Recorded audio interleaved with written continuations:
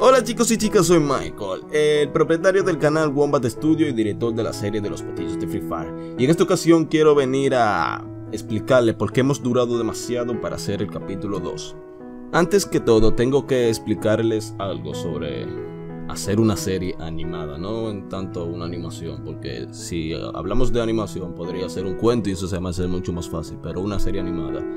Eh, uno, eh, lo más difícil sería escribir un guion primero, antes de escribir el guion, hay, que sentarse a pensar todo lo que tiene que pasar en el capítulo. Luego escribir el guion y el guion se tiene que escribir todo lo que se animará y todo lo que se va a decir.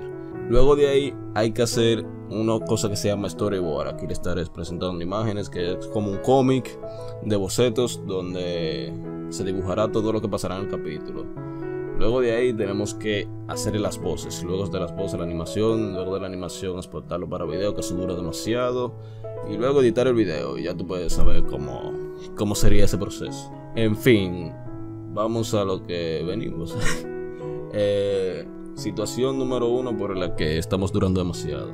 Se me complican las voces.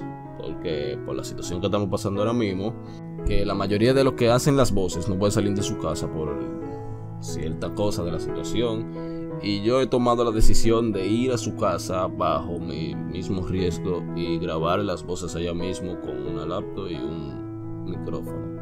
Número 2. El rediseño de los personajes, ya que esos son unos personajes más complicados y van a tener mejor animación ya por la complejidad que tienen. Y son más parecidos a los de Free Fire, se puede decir. Yo traté de hacerlo así y también muy cómico para que tenga las, las mismas expresiones, ah, las mismas expresiones de los de los personajes anteriores, aunque va a estar mejor, llévense de mí. y punto número 3, pero no menos importante, eh, me toca a mí solo hacer las animaciones, los fondos, editar los audios, editar el video y ponerle efectos de sonido al video. Así que paciencia, por favor, que ese capítulo viene.